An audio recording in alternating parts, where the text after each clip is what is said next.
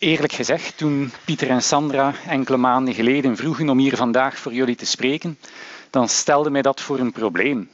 Want eigenlijk heb ik niks te vertellen. Waarom niet? Wel, ik heb geen nieuwe onderwijsmethode of zo uitgevonden. Ik ben ook maar een docent zoals jullie. Ik lees af en toe eens in de boekjes en zie daar soms inspirerende ideeën van mensen die wel origineel kunnen zijn. En probeer die, als ze mij goed lijken, dan toe te passen. Maar dat is iets wat jullie even goed in de boekjes kunnen lezen en waarschijnlijk gelezen hebben. Dus dat is niet iets wat, wat ik als nieuw kan bijdragen. Nu, gelukkig heeft dat probleem zichzelf snel opgelost toen we de antwoorden binnenkregen van de opdracht die velen onder jullie gemaakt hebben. En daaruit bleek dat een van de grote vragen of bekommernissen die in deze groep leeft, is het zien van concrete voorbeelden. Voorbeelden die aantonen of een aanpak via Flipped Classroom in een universitaire context mogelijk is. En dat is nu net waar we wel enige ervaring mee hebben ondertussen. En dat is dus het verhaal dat ik jullie zou willen brengen. Een praktijkvoorbeeld dus. Wat volgde er ook uit de respons op de opdracht? Een aantal drempels die sommigen onder jullie ontwaarden. Drempels om Flipped Classroom zelf te gaan gebruiken. Die staan hier samengevat en op elk van die drempels gaan we in de loop van dit verhaal uh, iets kunnen zeggen. Het is een veranderingsverhaal en voor je begint te veranderen heb je een reden nodig om te veranderen. Waarom iets als Flip Classroom überhaupt willen gaan gebruiken? Dat is een vraag die mij al vaak gesteld is. Misschien leeft die vraag ook bij sommigen onder jullie. En het antwoord dat ik daar meestal op geef gaat als volgt. Het is zo dat achter iedere onderwijsvorm onvermijdelijk een of andere technologie schuilgaat. Sterker zelfs, iedere onderwijsvorm wordt mogelijk gemaakt door een vorm van technologie. Ook het klassieke hoorcollege, dat we allemaal zo goed kennen, steunt ergens op een technologie. Op welke? Wie kan mij zeggen welke technologie achter het hoorcollege zit? De stem. De stem is een mogelijkheid, ja. Ik zocht naar iets anders. PowerPoint. Nee, het hoorcollege is ouder dan PowerPoint. Taal. Taal gaat wel samen met stem. Het gaat, ja? Bord. Een bord, dat komt al meer in de richting die ik zoek. Het geschreven woord, een boek. Een boek is in de manier waarop ik er naar kijk de essentiële technologie achter een hoorcollege. Niet het boek zoals we het vandaag kennen. Niet het boek dat in duizenden exemplaren gedrukt kan worden. Maar wel het handgeschreven boek uit de vroege middeleeuwen. Waarom zijn hoorcolleges zoals ze zijn? Omdat de docent enkele eeuwen geleden s'morgens naar de universiteitsbibliotheek gaat, waar het enige handgeschreven exemplaar van de fysica van Aristoteles bewaard wordt. Die brengt dat naar de collegezaal, opent het boek en leest voor. De kennis die in het boek zit, wordt overgedragen op mensen die binnen gehoorsafstand van het boek zitten. Dat is de technologie die het formaat van het hoorcollege bepaald heeft.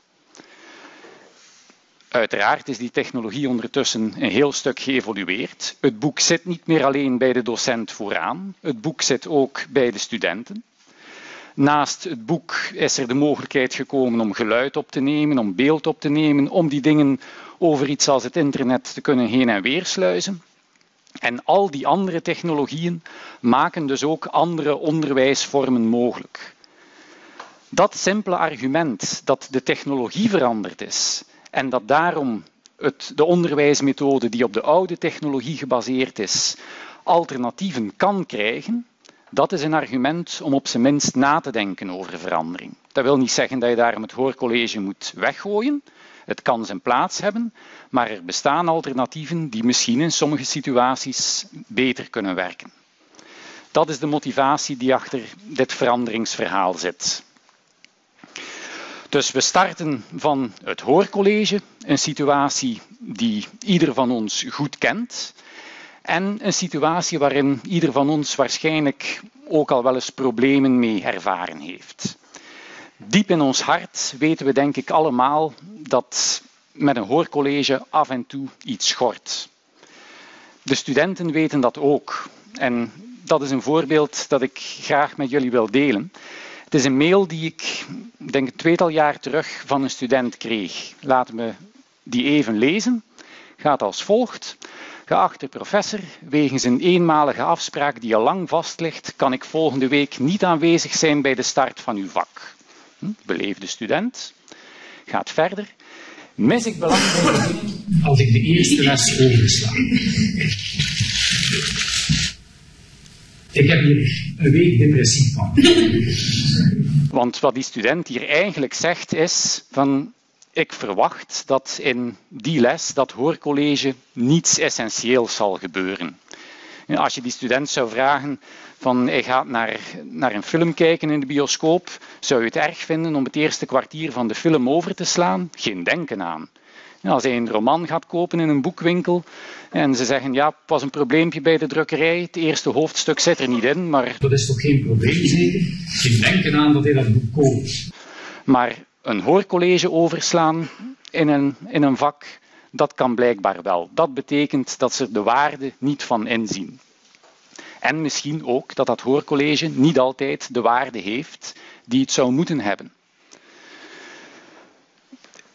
Wat kunnen we daaraan doen? Twee manieren. We kunnen proberen onze hoorcolleges beter te maken.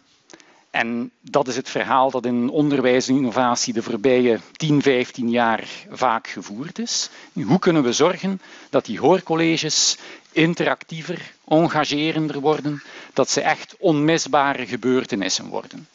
Dat is één weg, maar daar gaat het vandaag niet over gaan. De alternatieve weg is proberen naar een compleet ander model te gaan, waar dat hoorcollege die centrale plaats niet meer heeft. Om het veranderingsverhaal te kunnen volgen, moet je weten van waar ik vertrokken ben. Dus laat mij kort even de twee vakken schetsen waar het hier over zal gaan. Het gaat om een vak Nuclear Methods in Materials Research en Computational Materials Physics. Twee vakken die aangeboden worden in de masterjaren van de opleiding Fysica en Sterrenkunde en van twee afstudeerrichtingen binnen de opleiding Ingenieurswetenschappen, Toegepaste Natuurkunde en Materiaalkunde.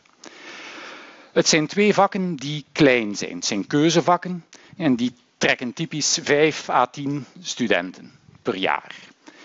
Het zijn vakken die niet nieuw zijn voor mij. Nuclear Methods is een vak dat ik in verschillende gedaantes al 15 jaar onderwijs. Computational Materials Physics is een jonger vak, vier jaar oud. Dus dat is de startsituatie die je voor ogen moet houden. Die vakken, als ik twee academiejaren terugkijk, 2012, 2013, hoe werden die onderwezen? Nuclear Methods met zijn voorgeschiedenis van 15 jaar was een klassiek hoorcollegevak met PowerPoint slides. Het jongere vak Computational Materials Physics was in een andere tijd ontstaan. Daar was er al meer aandacht voor engagement, voor interactie.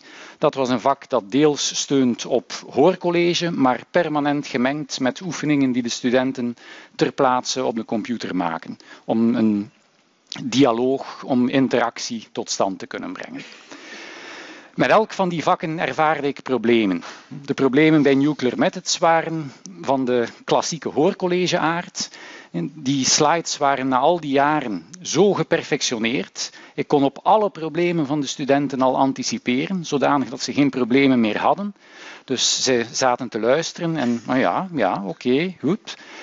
Vragen? Nee, want we begrijpen alles, denken ze. En interactie was compleet dood. Het vak was dood geperfectioneerd.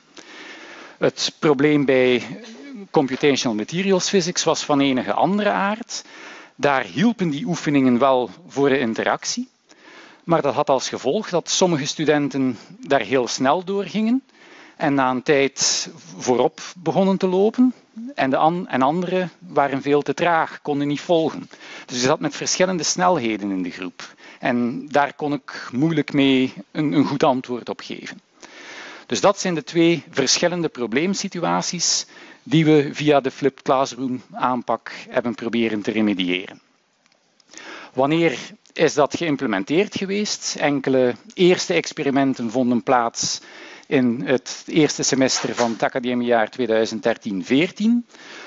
De eerste echte verandering was Nuclear Methods in het vorige semester.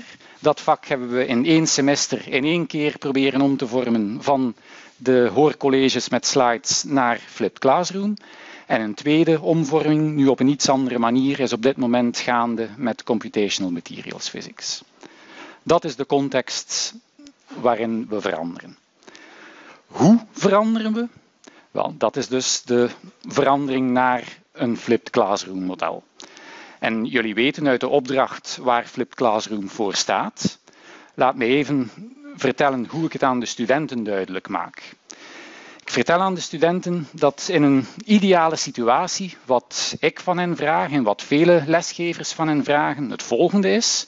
Je volgt een les. Daar ga je ongetwijfeld niet alles van begrepen hebben. Dus thuis bekijk je die les opnieuw, bekijk je het materiaal van de les, ga je vragen proberen te formuleren. Heb je vragen, die stel je de volgende les en zo verder. Groen les, rood het eigen studiewerk. En dan komt er een blokperiode waarin je alles nog eens samenvat en dan kan je naar het examen gaan. De mensen die hier voor mij zitten, ik kan ervan uitgaan dat jullie tot de meest gemotiveerde studenten van jullie jaren behoren. Wie kan zeggen dat dit de studiemethode was die typisch was voor jou? Steek je hand op als dat het geval was. Als ik ruwweg schat, een helft ongeveer van de zaal. Bij de meest gemotiveerde studenten van elk jaar. Dus de typische student die doet die methode niet. Wat de typische student doet, is dit schema.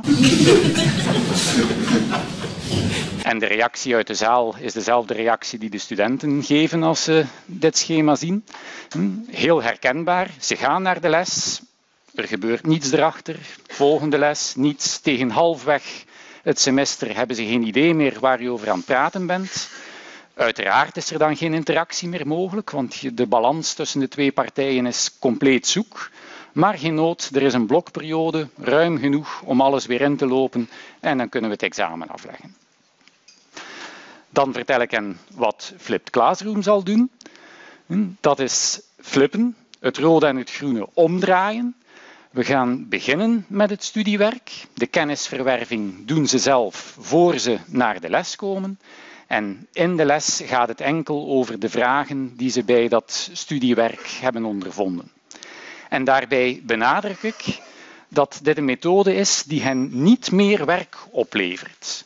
Het gaat om een herverdeling van werk. Het grote werk dat nu in de blokperiode plaatsvindt, wordt voor een deel afgeknipt en verdeeld over het semester. Dus in het semester gaan ze vermoedelijk wat meer moeten werken. Niet meer moeten werken dan ze in het ideale geval zouden moeten doen, maar misschien wel meer werken dan ze in de reële situatie doen. Maar de totale studietijd zal, zou moeten behouden blijven. En dit pikt in op een van de drempels die jullie identificeerden. Brengt Flipped Classroom extra tijdsdruk voor de studenten met zich mee? Ik denk als het goed gebruikt wordt, niet. Het is een werkherverdeling, maar geen extra werk. Hoe ziet zo'n cyclus van zelf studeren en dan naar het contactmoment komen er dan uit? Het zelfstuderen, dat zou je via boeken kunnen doen. In onze situatie doen we het meestal via filmpjes. Dus je hebt een selectie van filmmateriaal die de inhoud van die bepaalde week volledig dekt. De studenten gaan door dat filmmateriaal, niet zomaar bekijken. Ze worden regelmatig geconfronteerd met vragen, opdrachten die ze moeten oplossen. Al hun antwoorden worden gecollecteerd in typisch één PDF-bestand. En 24 uur voor de les wordt dat aan mij bezorgd. Dus kan ik alles bekijken. Dan heb ik dus een idee van wat de studenten, waar hun problemen lagen, wat hebben ze begrepen, wat hebben ze niet begrepen. En op het moment dat we elkaar in het contactmoment ontmoeten, dan gaat de discussie daarover. En nu is dat een discussie tussen twee partijen die wel op hetzelfde punt staan. Ze hoeven niet alles begrepen te hebben, als het maar duidelijk is wat ze niet begrepen hebben. Dus je kan rechtstreeks op hun problemen inspelen. Iemand van jullie die heeft in de voorbereiding de volgende opmerking gemaakt, die ik de moeite van het vermelden waard vond. Die mens zegt, ik was toch wel wat onthutst bij het lezen van het feit dat de lesgever dus moet vermijden om leerstof die al in de voorafstudie verwerkt zou moeten zijn, om die opnieuw te behandelen in het hoorcollege. En dat is inderdaad een verwondering, een drempel waar je over moet. Het hoorcollege verliest in zekere zin zijn status van de plek waar het gebeurt. Het worden nu twee plekken waar het studeren gebeurt. Dat is thuis en dat is het contactmoment. En beide zijn minstens even belangrijk. Cruciaal is dat die opdrachten binnenkomen. Als geen van de studenten de voorbereiding maakt, dan valt er tijdens het contactmoment weinig te zeggen. En dat is ook een van de drempels die jullie identificeerden. Zou het niet kunnen gebeuren dat de studenten die voorbereiding niet maken? Ik heb dat getest met deze groep. Hoeveel van de mensen die ingeschreven waren voor deze sessie hebben de voorbereiding gemaakt? Dat blijkt net de helft te zijn. In een lessituatie is dat niet aanvaardbaar. Daar kan je niet mee werken. Hoe bereik je in de lessituatie dat dit hier niet voorkomt, dat meer dan 50% en beduidend meer dan 50% antwoordt? Daar heb ik twee manieren voor. Eén manier wordt mogelijk gemaakt door het feit dat ik met kleine groepen werk. Dus ik ken de studenten nog persoonlijk. En het valt gewoon gigantisch op als je daar in dat contactmoment zit en je ziet de vragen passeren en de antwoorden van sommige van je collega's en die van jou zitten er nooit bij. Dus ik probeer de mensen daar ook uh, niet altijd subtiel op aan te spreken. Van mocht je geantwoord hebben, wat zou je geantwoord hebben? Dus dat het duidelijk is dat dat, dat, dat niet is wat er van hen verwacht werd. Die sociale druk in een kleine groep die zorgt ervoor dat na enige haperingen bij de start, dat iedereen trouw zijn opdrachten indient. Een tweede methode, waarvan ik verwacht dat die bij grotere groepen ook zou werken, dat is spelen met de punten. En hier zitten we op glad ijs, want we zitten hier nog volop in de leerfase van een vak. Dus leren betekent dat je mag fouten maken. Dus je mag zeker niet de indruk wekken dat die ingediende opdrachten een soort toetsen of examens zijn, waarvan er gequoteerd wordt op correctheid. Ik probeer te quoteren op inspanning. Ik zeg bij de start van het vak, vier van de twintig punten voor dit vak krijgen jullie. Cadeau. Ze zijn van jullie. Je kan ze wel nog verliezen. Als je een week een opdracht niet indient of overduidelijk uh, overgeschreven of onvolledig indient, dan gaat er een punt af dat heeft als gevolg dat de drang om die punten te blijven behouden tot op het einde van het semester gaande blijft. Dus sommige mensen werken met het systeem van je moet 80% van je opdrachten ingediend hebben en dan krijg je een aantal punten. Met als gevolg dat studenten gaan rekenen en eens aan die 80% zitten de laatste twee weken van het semester. Dat is niet meer nodig. Met deze aanpak blijft week na week de stimulans bestaan. Is dat een probleem dat ze zoveel punten gratis krijgen? In mijn ogen niet, want als ze die opdrachten doen, weet ik gewoon dat ze onvermijdelijk gaan leren. En daar mag een beloning tegenover staan. Laat ons meer concreet en praktisch worden. Hoe gaan we nu met dat, hoe gaan we aan dat materiaal geraken? Want bij deze methode heb je videomateriaal nodig dat studenten thuis kunnen bekijken. Hoe raak je aan videomateriaal dat voor jouw lessen bruikbaar is? En hier, o ironie, de vermalendijde, interactiedodende PowerPoint-presentaties, die worden nu plots de grondstof waaruit dat videomateriaal kan gemaakt worden.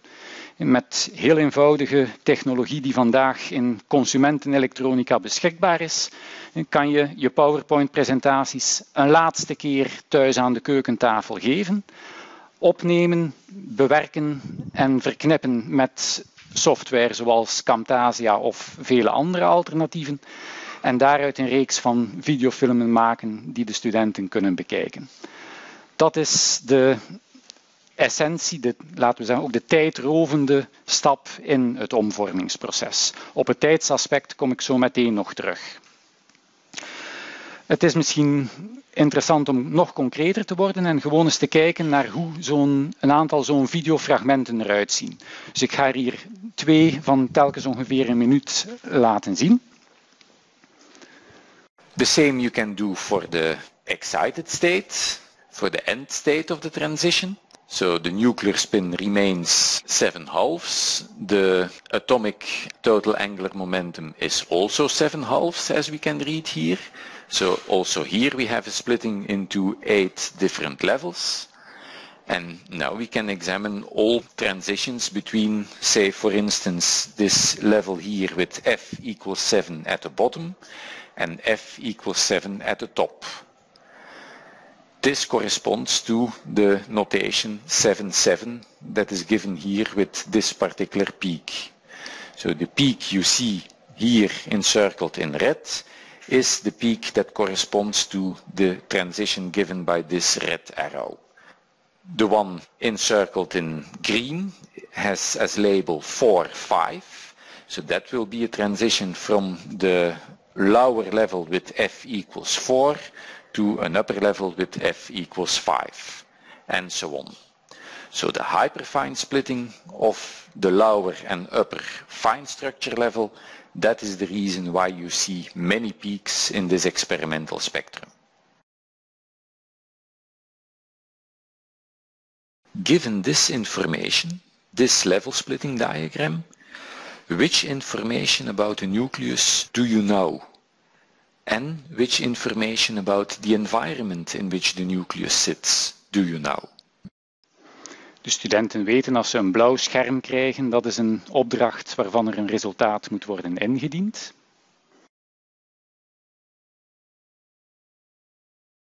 Another question. Consider this nucleus to be at a low temperature. For the time being, we will not specify what low exactly means. If not one nucleus is in this environment at this temperature, but an entire ensemble of nuclei, what could you tell about the orientation of that ensemble? Think about it for yourself, write down your answer, stop the video meanwhile, and then go on. The answer will be given after the question page, but it's important that you first try to make your own answer. For the report, you can use the answer that you have written down. And if that was different from the right answer, you can comment on what made you think the wrong way. Dus ook hier zie je allerlei pogingen om inhoudelijke discussie op gang te brengen. In sommige vragen kunnen ze beantwoorden en wordt het antwoord gegeven in de video zelf. Maar was je antwoord verschillend? Wel, schrijf het op en dan kunnen we op de onderliggende redenen ingaan. Je zag ook af en toe iets bewegen op de slides. De slides die daaronder liggen, dat zijn dus, sommige slides zijn echt heel oud, zijn tien jaar geleden gemaakt. Dat was aan sommige dingen in de layout waarschijnlijk te zien. Maar door ze te bewerken met iets als Camtasia, kan je het aanwijzen wat je anders op het scherm deed, kan je reconstrueren op het computerscherm, zodat de studenten niet naar een statisch beeld zitten te kijken, maar geleid worden in hun kijken. Welke gevolgen heeft dat nu? Als je dus die verandering doorvoert, wat zijn de resultaten? En ik bekijk resultaten op verschillende vlakken. Om te beginnen de leerwinst. Ik werk met kleine groepen, dus ik kan onmogelijk statistisch relevante informatie geven. Maar ik heb wel veel subjectieve indicatoren om te meten hoe het met de leerwinst in dat jaar gegaan was. En die staan allemaal op extreem positief. De twee manieren, dus de twee indicatoren waar ik dit het duidelijkst aan kan zien, zijn de het niveau van de discussies. Ik zei 15 jaar voorgeschiedenis met dit vak. Ik weet heel goed hoe die, discussies, hoe die discussies kunnen verlopen. Ik weet hoeveel ik heb moeten trekken en sleuren in vorige jaren om iets van discussie van niveau te realiseren. Dit jaar ging dat moeiteloos. Er werd in de les gediscussieerd op een niveau dat ik meestal zelfs niet bij het examen merkte in andere jaren. En het tweede criterium is hoe het examen zelf verliep. Voor, alle voor die kleine groep van studenten ging het examen dit jaar echt moeiteloos. Ieder jaar zit er wel één iemand in waar je een beetje twijfel bij hebt. Dit jaar bij niemand. En dat was echt waar nog nooit voorgekomen in die vorige jaren. Dus die twee subjectieve criteria die tonen voor mij dat de leerwinst enorm gestegen is. De stijging was zo groot, het verschil was zo merkbaar, dat ik eigenlijk begon te twijfelen, is dit toeval of niet? En dus even gaan rondkijken of er meer statistisch relevant uh, materiaal beschikbaar was. En je vindt ettelijke recente voorbeelden. Dit is een onderzoek gevoerd aan een Amerikaanse universiteit in samenwerking met edX, wat een platform is voor online studieomgevingen. En daarbij hebben ze getest in controleerbare omstandigheden een cursus die traditioneel onderwezen werd en een slaagpercentage had van 55 procent. Diezelfde cursus in een combinatie van traditioneel en online onderwijs. Dus het was niet volledig flipped classroom, het was een hybride vorm. En daar steeg plotsklaps het slaagpercentage naar 91 procent. Dat is hetzelfde soort kwalitatieve, het kwalitatieve effect dat ik ook ondervonden heb. Een ander voorbeeld, een experiment in een middelbare school, Amerikaanse middelbare school, waar in de zomer tussen, 2012, tussen de twee uh, schooljaren een wiskundecursus omgevormd werd naar flipped classroom. Het voordeel van deze studie is dat het over redelijk grote aantallen ging en dat de examens afgenomen werden door de staat en dus dezelfde waren, de leerkrachten hadden totaal geen invloed op de examens. De school scoorde het voorgaande jaar met traditionele wiskundecursussen 71% slaagpercentage, met flipped classroom wiskundecursussen 83%. Meer nog, als je kijkt naar de studenten die een bepaald hoog niveau halen, dat stijgt van 14 naar 35 procent. Wat een heel interessante vaststelling is, want dat betekent dat Flipped Classroom niet enkel een middel is om de zwakkere studenten over de streep te trekken, dat het ook de sterkere studenten in staat stelt om nog beter te worden. Dus dat is iets wat bij niet veel onderwijsmethodes voorkomt, dat je kan werken op beide, uh, beide helften van het spectrum van studenten. En een derde studie die om een andere reden interessant is. Hier gaat het om een scheikundecursus. Maar de scheikundecursus zelf die werd in beide gevallen via traditionele hoorcolleges gegeven. Wat is er dan verschillend tussen beide groepen?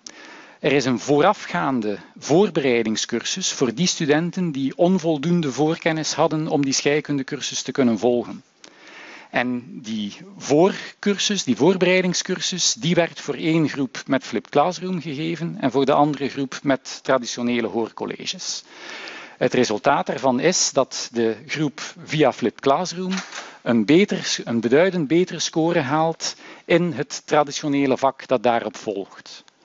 Dus de gevolgen van een Flip Classroom aanpak hebben een doorwerking naar de vakken die daarop volgen.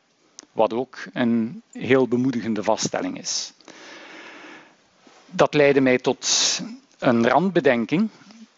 Als je bezig bent met onderwijs, innovatie, dan moet je altijd je ergens verantwoorden dat het geld en de tijd die je daarin besteedt, dat dat eigenlijk wel goed besteed is. Zou je niet beter werken aan onderzoeksprojecten en dit en dat? Een verhaal dat velen onder jullie zullen kennen. Nu vraag ik mij af, als een Vlaamse universiteit erin zou slagen om zijn slaagpercentages over de hele universiteit met enkele procenten te verhogen, wat zou dat in subsidies en secundaire effecten financieel niet als gevolgen hebben? Misschien zijn er mensen onder jullie die de nodige kennis hebben om daar een getal op te plakken. Ik zou heel erg geïnteresseerd zijn in dit getal, want ik vermoed dat de symbolische financiële investering die in deze onderwijsinnovaties gestoken wordt, dat die in die termen een enorme return on investment hebben. Als iemand zich geroepen voelt om dit getal eens uit te rekenen, ik hoor het graag. Dat waren dus gevolgen voor het leerresultaat. Wat zijn de gevolgen voor de manier waarop studenten met zo'n vak omgaan? Dat heb ik via formele en informele manieren proberen na te gaan. Enquêtes, spreken met studenten, zowel anoniem als niet anoniem. En daar komen een paar interessante dingen uit voort. De meeste studenten geven aan dat ze dus inderdaad redelijk veel werk hebben met zo'n vak, vier à vijf uur per week. Dat is meer dan de meesten onder hen in de klassieke aanpak zouden gedaan hebben, maar dat is eigenlijk van het niveau wat ik zou verwachten dat iemand die zijn les volgt en die grondig nadien verwerkt, dat is de tijd die die persoon zou nodig hebben. Dus dat is echt waar de tijd die ik wil, die ze eraan besteden. Dat is niet overdreven. Ze geven ook allemaal aan dat het werk tijdens de blokperiode een stuk minder is. Dus dat was de bedoeling en dat is blijkbaar gerealiseerd. Waar ik niet op voorbereid was, dat was dat de studenten het er bijna unaniem over eens zijn dat ze iedere video gemiddeld twee à drie keer bekeken hebben over de loop van het semester. Daar was ik echt van verwonderd. En als ze dat effectief deden, dan is het misschien ook niet zo verwonderlijk dat hun resultaten een stuk beter waren. Het kunnen herbijwonen van een les was een voordeel dat tot nu toe enkel voor BIS-studenten gereserveerd was. Een voordeel van twijfelachtige aard. Maar in deze aanpak kan iedere student dat voordeel realiseren. En ze doen het dus blijkbaar ook. Een andere zaak waar ik, wat, misschien niet verwonderlijk is, maar die ik niet verwacht had. Studenten blijken tijdens het bekijken van de les heel regelmatig de video stop te zetten en Google erbij te roepen om iets te verduidelijken wat ze niet goed begrepen hadden. Wat een, mij een heel efficiënte manier van leren lijkt. En het was een ongewild effect, maar het wordt in de hand gewerkt door het feit dat ze die video in streamingmode moeten bekijken. Dus ze hebben een internetconnectie aan. En dan is Google letterlijk maar een muisklik van hen verwijderd. En een andere zaak waar ik minder op voorbereid was, dat was dat sommige studenten blijken notities te maken, spontaan. Terwijl ze de video's maken, bekijken, maken ze notities. Anderen deden dat niet. En die tweede groep die bleek een probleem te hebben op het moment dat er dan gestudeerd werd in de blokperiode. Want notities die kan je rap wel eens overlopen. Een video, ja, als die vijf minuten duurt, duurt die vijf minuten. Je kan die niet sneller of trager gaan bekijken. Dus dat is iets waar ik de nieuwe groepen expliciet op wijs. Als je de video's bekijkt, maak notities alsof je in de les zou zitten. Dat is voor jezelf een duidelijk nuttig hulpmiddel. Wat zijn de gevolgen dan niet in leergedrag, maar in appreciatie? Hoe staan, hoe staan de studenten emotioneel ten opzichte van een vak dat op die manier gegeven wordt? Een paar uitspraken. Iemand zei, ik ben vijf jaar student en ik ben nog nooit zo goed voorbereid geweest op een examen. Dat vond ik een heel bemoedigende uitspraak. Dat toont dat het systeem werkt en dat die persoon later zeker geneigd zal zijn om nogmaals in een vak met Flipped Classroom te stappen. Die heeft de voordelen ervan ondervonden. Iemand anders formuleert het als: het is veel werk, maar je haalt er je voordeel uit. Ik geef twee uitspraken van dit soort, omdat ik denk dat dit essentieel is. Je moet de studenten van bij het begin wijzen op het voordeel die ze zelf uit die aanpak kunnen halen. Als ze daarvan overtuigd zijn, zullen ze bereid zijn om het werk te leveren. Iemand merkte op, een nadeel is wel, als je thuis die video's bekijkt, je gedachten dwalen nogal snel af.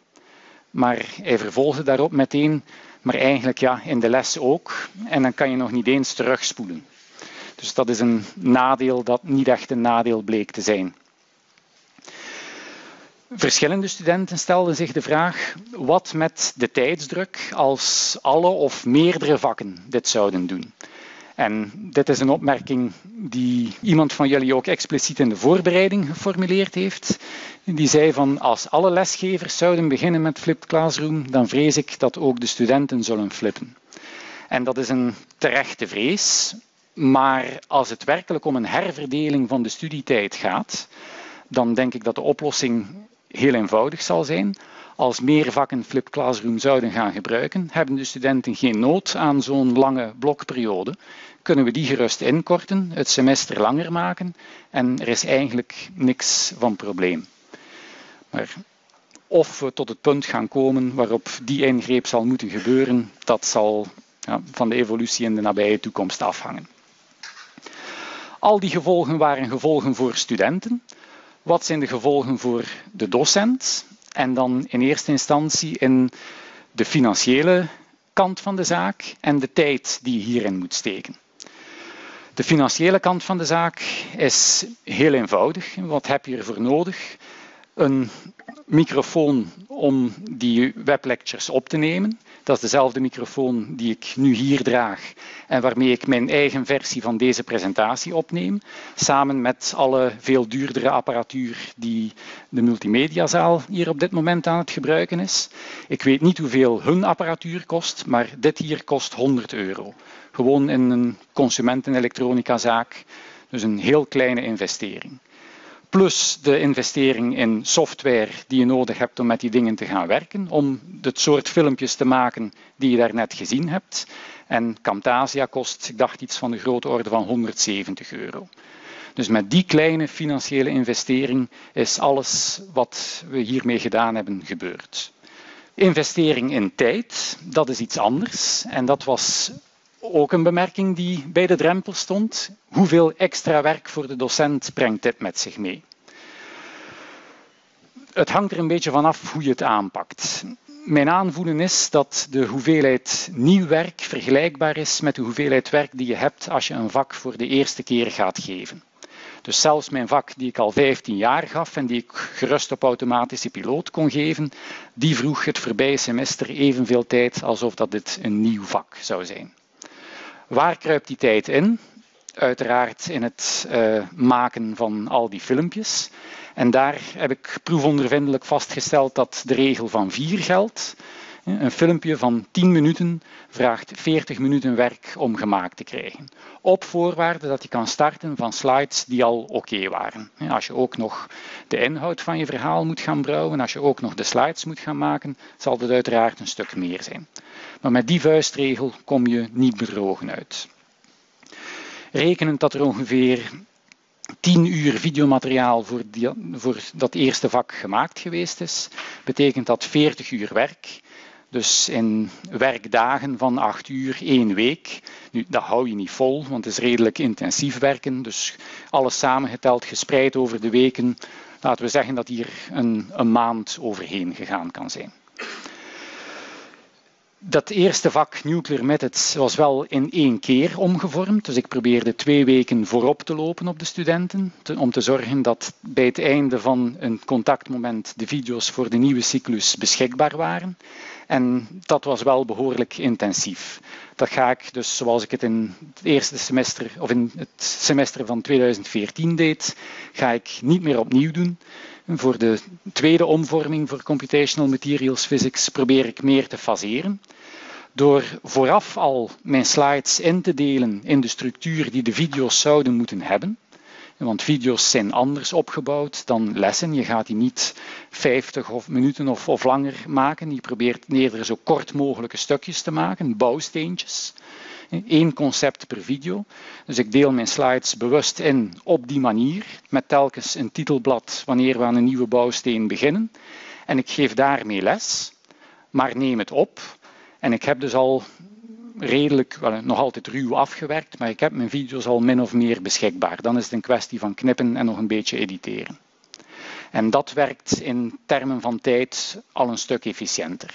Dat heeft als nadeel dat dit jaar we een beetje in een hybride vorm zitten. Is die cursus nu Flip Classroom of niet?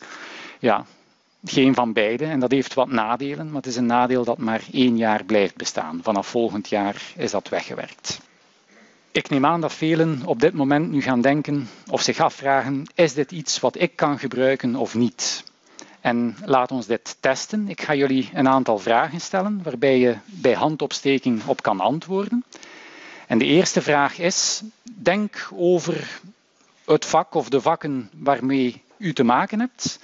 En vraag je af: is het zo of niet dat ik ieder jaar ongeveer mijnzelfde verhaal vertel? Als dat zo is, mag je je hand opsteken. Is dat niet zo, dan breng je ieder jaar iets anders. Oké, hou de handen waar ze zijn, niet laten zakken.